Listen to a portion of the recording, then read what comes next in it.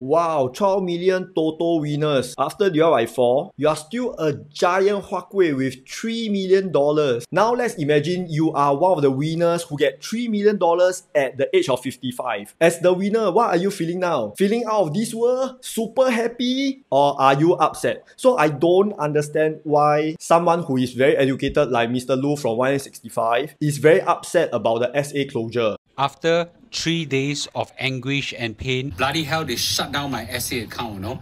But never mind, you know. I just figure out a way. Uh, I'm gonna fill up uh, my RA uh, all the way up to the max I can on 55 so on. And then every month at 70 years old, I'm gonna extract $4,600 from you. Uh. You know what I'm gonna do? I'm gonna live uh, every month uh, extracting $4,600. I'm gonna make sure I stay healthy, I exercise healthy, I eat healthy all the way I live until 100 years old, I accept 1.6 million dollars from you. Okay, I'll give you max 400 over thousand dollars, but I'll accept 1.6 million dollars from you. That's what I'll do. In this video, I want to share what I would do if I were him. In order to plan out what he can do, I need to know his numbers, by filling up his Savvy Assets worksheet. This is how the Savvy Assets worksheet looks like. This spreadsheet is to know how what you are lah. So I'll put the link at the comment section below. Now let's do step by step. First of all, let's talk about his age. Okay, in this video, he said reflections on his 51 birthday 5 months ago. Means he is 52 years old. And his wife, based on this article, he said that in 2018, he and his wife are 45 years old. Means they are the same age. 52. As for his income, I remember he did some online selling of luxury bags, so his income should be okay. But in this case, I just put question mark lah, ho. The next step, the value of his HDB flat. And in this video, I found out... You'll go to $1.1 million uh, probably because the single story executive is already at 1.02 or something like that. So maybe I'll hit $1.1 million. Uh. Yeah, very rich. Uh. Yeah. Now current property value is around 1.1 million. And since he's 52 years old, the only way to take out all his money from his SA is 3 years later, which is at 55 years old. So I guess the valuation of his flat in 3 years time, maybe around 1.25 to 1.3 million. Let's put the higher amount because I also hope that Mr. Loo and his family will enjoy this high value HDB flat.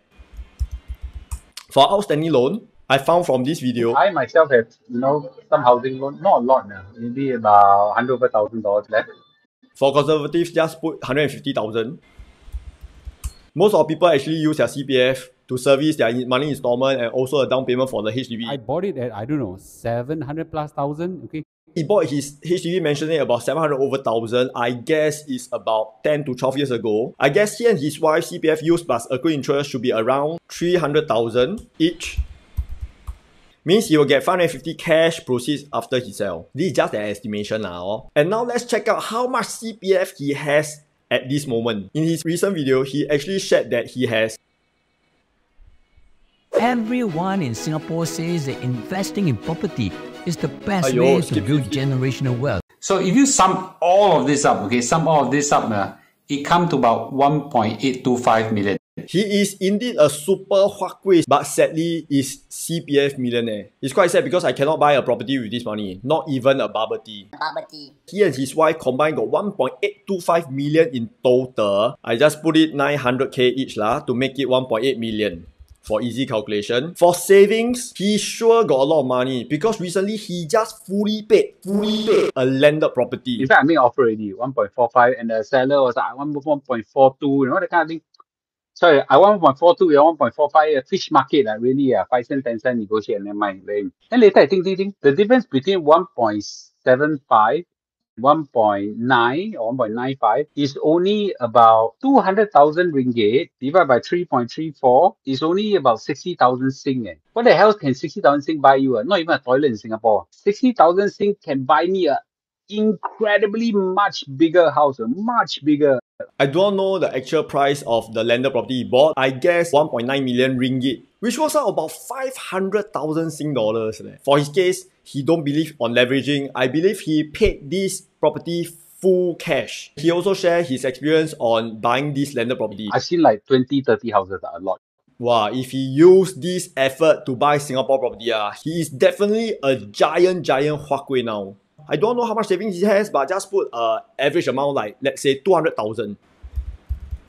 For stocks, not sure, zero. He has a total assets of 3.15 million. He is just like one of the Toto winner. So it's not a very difficult choice what. So now, what I will do if I were him? I thought of three options. The first option, since right now he has 1.8 million, Three years later, even after basic retirement sum or full retirement sum, he should have more money. Let's say he can only take out the current amount, 1.8 million in cash. Since he likes his HDB so much, he can keep his HDB. I will buy second property worth 1 million. So what can you buy 1 million today? Let me show you. With the most recent data, this is a 2 bed 2 bath 1 million, 2 bed 2 bath 1 million. I chosen this property because it's less than 5 minutes walk away from MRT and shopping mall. He also have an objective to get $4,000 payout from his CPF. And now let's look at the rental.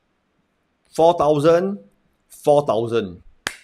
Achieve already ah. Wait, wait, wait, wait, wait, wait, wait. I need to add this part. When you buy a property, you buy only for rental only man. If you buy property for rental, you don't buy lah. Must always focus on appreciation also ma. That's the reason why you buy property. For this one million dollar property, how much is the potential that you can make in the next three years? So the very simple way to know is to check what is the price three years ago? In 2021, it's only 765,000, 810,000, 750,000 which is about 250,000 in three years. In my recent two days program, I tell everyone, if you really want to be a giant huakui, try to aim 100,000 appreciation every year for one property. So if you have two properties, means about 200,000 appreciation every year. And because this size is not a three bedder, at 250,000 for three years is considered very good, which is about 70 to 80,000 per year. And since his second property, he will be paying ABSD on it.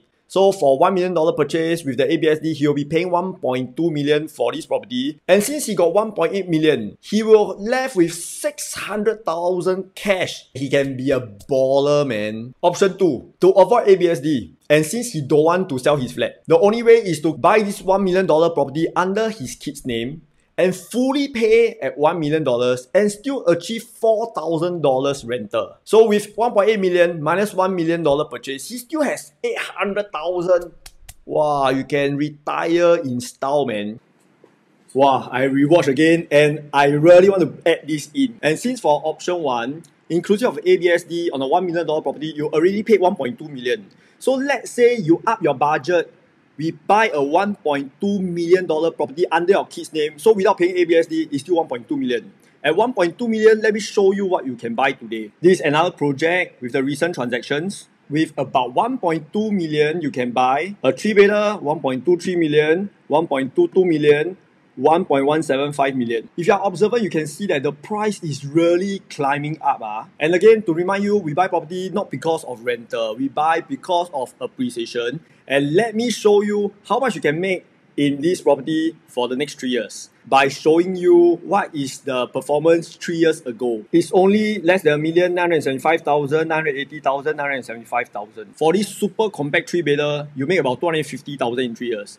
If you want to make at least 100 or more per year, easy lah, buy the bigger units or. Actually, these two options are not the best option. The third option is my advice which you need more guts lah. I will sell his HDB at 1.3 million, take out all his CPF monies, he will have 3.15 million cash. And after he sell, husband and wife is out of the flat. So each of them can actually own one each to avoid ABSD. I will take 1.5 million out from his 3.15 million to buy a three bedroom and fully pay it. And then I'll buy another property, $1 million under his wife's name to avoid ABSD and collect $4,000 rental every month. That means in these two properties, I have utilized 2.5 million, which means he still have 650,000 cash. So what can he do? If he still loves to get money out from his CPF SA, he can either put it in, I don't know whether you can do that, or he can take this money and buy a bigger GCB in JB again. So actually with this amount of money, he can actually do a lot of things. If you are very interested to know what you can do with your portfolio, you can do out the Savvy Assets worksheet and you can send to my company's number. And you'll be very surprised by what I can plan out for your portfolio. And if you like my plan for you, you can consider to come for my one-to-one -one consultation program. I will put all these links under the description of this video. And I hope that this video is useful for those people who are affected by the CPF closure. And I hope that you can use your money wisely and buy the right property. I'll see you in the next video.